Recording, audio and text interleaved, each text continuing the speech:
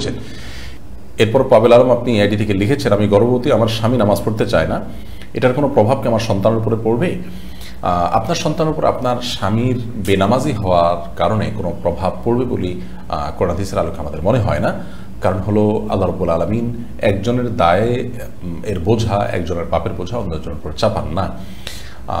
তবে অবশ্যই মা বাবার দিনদারি, তাদের তাকুয়া তাহার বিশেষ করে মায়ের ব্যক্তিগত তাকুয়া চর্চা সন্তান গর্ভে থাকাকালের সময়, এটার ইতিবাচক প্রভাব সন্তানের উপরে পড়ে। কিন্তু তাই বলে জন্মদাতা বাপ তিনি খারাপ কাজ করলেও তার প্রভাব গিয়ে সন্তানের উপর পড়বে এমন নয়, তবে তাকেও যদি সুপথে আনা যায় এবং সালাতের অভ্যস্ত করা যায়, সন্দেহাতীতভাবে একটি তাকুয়ার পরিবেশে আল্লাহর কাছে দোয়া করবেন তিনি ভালো কিছু চাইবেন, আল্লাহ বান্দা হবেন, সেই হিসেবে আল্লাহ তালা তাদের জন্য ভালো কিছু দিবেন, সে আশা করা যায়। সেটি আরেকটি বিষয়। কিন্তু বাবার বেনামাজি হওয়ার কারণে সন্তানের মধ্যে তার প্রভাব পড়বে, সন্তানও বেনামাজি হবে, এমনটি আবশ্যক নয়। কত খারাপ মানুষের ঘরে আল্লাহ তালা কত অনেক মানুষ দিয়েছেন।